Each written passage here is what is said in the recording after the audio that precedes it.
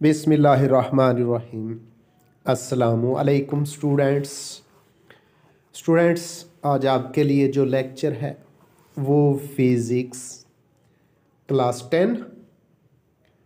Unit number fourteen है जी, current electricity.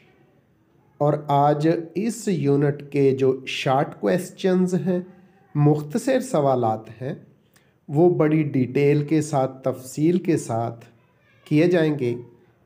इम्तहानी नुक़ नज़र से बच्चों, ये सवाल बहुत अहम है, इसलिए आपने इनको बहुत अच्छी तरह तैयार कर लेना है। डियर स्टूडेंट्स लेक्चर की तरफ़ जाने से पहले आपसे रिक्वेस्ट है कि प्लीज़ मेरे चैनल को सब्सक्राइब कर दें। बेल आइकन भी क्लिक कर दें ताकि अहम लेक्चर्स का नोटिफिकेशन आपको मिलता रहे। इसके अलावा मेरी वीडियोस को लाइक और शेयर भी किया करें। तो बढ़ते हैं जी शॉर्ट क्वेश्चंस की तरफ़। बढ़िया स्टूडेंट्स बढ़ते हैं शॉर्ट क्वेश्चंस की तरफ़। ये शॉर्ट क्वेश्चंस इंग्लिश और उर्दू दोनों मीडिया के अंदर बताए जाएँगे। तो पहला शॉर्ट क्वेश्चन है what is current electricity current electricity से क्या मुराद है? इसका आंसर सुन लें। The branch of physics, which deals with the flow of charges in a conductor, is called current electricity. Physics की वो ब्रांच जिसमें चार्जेस का किसी कंडक्टर के अंदर मोशन की हालत में मुताल किया जाता है करंट इलेक्ट्रिसिटी कहलाती है। अगला शॉर्ट क्वेश्चन है डिफाइन करंट करंट की तारीफ़ करें। आंसर सुन लें। The time rate of flow of electric charge through any cross section is called electric current Urdu में सुन ले। किसी कंडक्टर के क्रॉस सेक्शनल एरिया में से बहने वाले चार्जेस को करंट का नाम देते हैं। अब अगला शॉर्ट क्वेश्चन है। Define conventional current. Conventional current से क्या मुराद है? आंसर सुन ले. The current due to flow of positive charge which is equivalent current due to flow of negative charge in opposite direction is known as a conventional current positive charges की वो मकदार जो किसी कंडक्टर के अंदर एक तरफ़ बहने वाले नेगेटिव चार्ज की मकदार के बराबर होता है, लेकिन डायरेक्शन में उल्ट होता है कन्वेंशनल करंट कहलाता है। Next short question is what is the unit of current current का यूनिट क्या है इसको डिफाइन करें। आंसर सुन लें। Ampere is the SI unit of current it is defined as if one column charge passes through a conductor for 1 second, then the current will be equal to 1 ampere. अगर किसी conductor में से एक second में एक coulomb charge बह रहा हो तो उस करंट की मकदार एक एम्पेयर होती है। अगला शॉर्ट क्वेश्चन है what is E M F electromotive force से क्या मुराद है?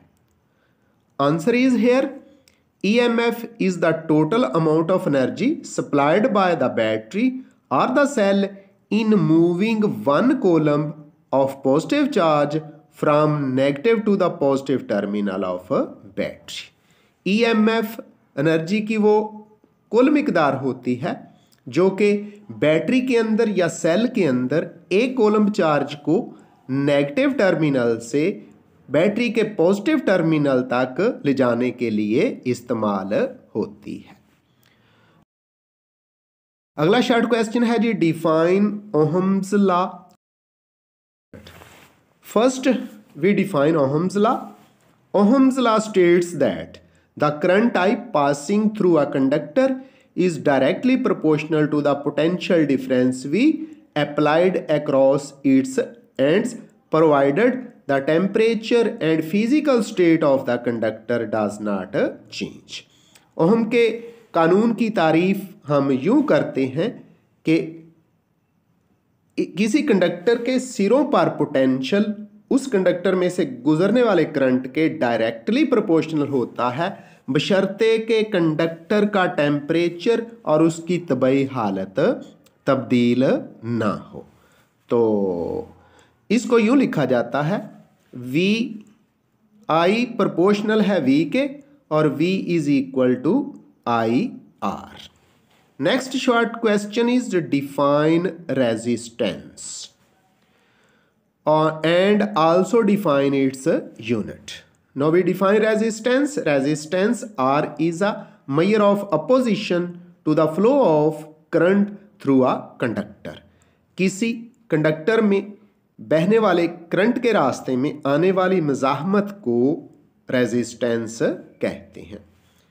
The SI unit of resistance is ohm it is denoted by symbol given as now we define ohm when A potential difference of 1 volt is applied across the ends of a conductor and 1 ampere of current passes through the conductor then its resistance will be 1 ohm. जब किसी conductor के सिरों पर एक volt का potential difference लगाया जाए और इस एक वोल्ट पोटेंशियल डिफरेंस के तहत उस कंडक्टर में से एक एम्पियर करंट गुजर रहा हो तो उसकी रेजिस्टेंस एक ओहम होती है। अगला शॉर्ट क्वेश्चन है जी डिफाइन कंडक्टर्स तो आंसर सुन ले। Materials in which electrons can freely move so as to pass electricity are called conductors ऐसे मटीरियल्स जिनमें से इलेक्ट्रॉन आज़ादाना हरकत कर सकते हैं और बिजली को गुजार सकते हैं ऐसे मटीरियल्स को कंडक्टर्स कहते हैं। डिफाइन इंसुलेटर्स इंसुलेटर्स की तारीफ़ करें। Materials in which no free electron are available for the conduction of electricity are called insulators ऐसे मटीरियल्स जिनमें करंट को गुजरने के लिए फ्री इलेक्ट्रॉन दस्तयाब नहीं होते इंसुलेटर्स कहलाते हैं।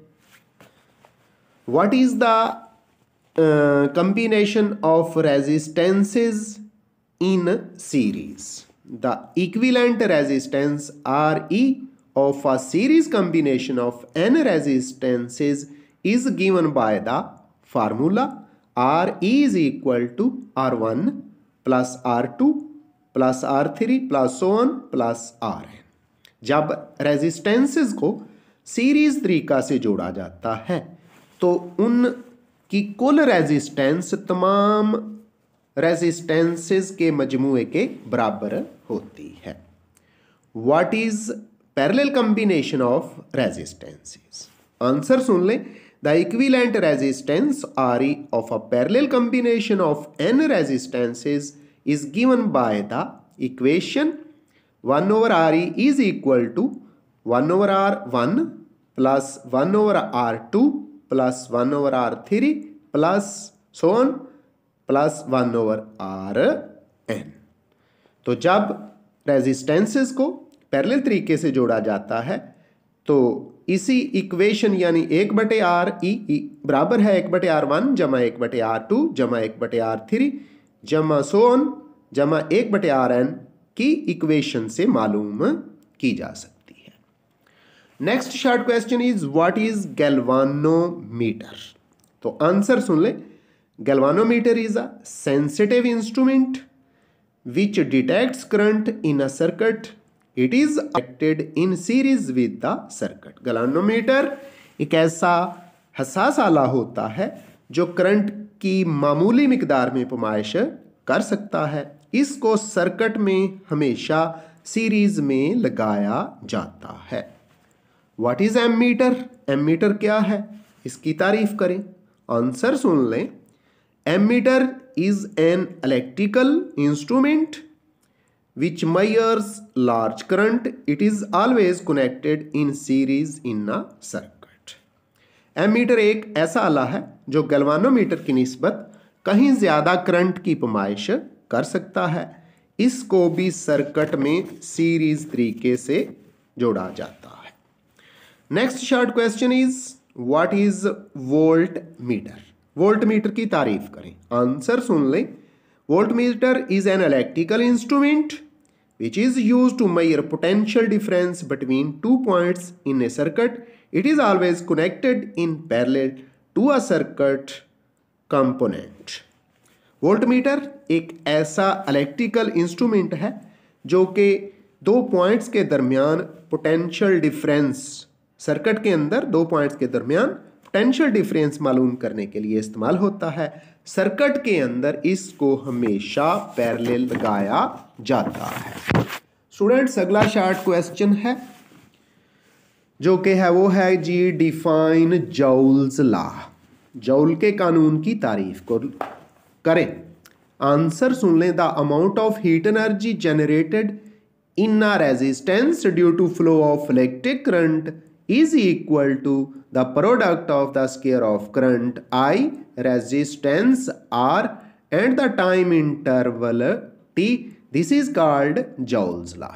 Students Joule के कानून को हम यूँ डिफाइन करेंगे कि एनर्जी की वो मकदार जो उस वक्त पैदा होती है और इक्वल होती है गुजरने वाले सर्किट में से गुजरने वाले करंट आई के मरबा रेजिस्टेंस आर और टाइम के हासिल जरब के। Next short question what is kilowatt hour answer सुन लें। The larger unit to measure the power is called kilowatt hour now we define it kilowatt hour is the amount of energy obtained from a source of 1 kilowatt in 1 hour. It is equal to 3.6 megajoule. The next question is uh, define direct current. Direct current की तारीफ करें students answer सुन लें the current which does not change its direction of flow in a circuit is known as current or direct current. It is denoted by DC. Next question is define alternating current. Alternating current से क्या मुराद है The current which changes its direction of flow after regular intervals of time is known as alternating current or AC. Students इसके साथ ही आज का lecture ख़त्म होता है मुझे मोहम्मद बास को दीजिए इजाज़त अल्लाह हाफिज़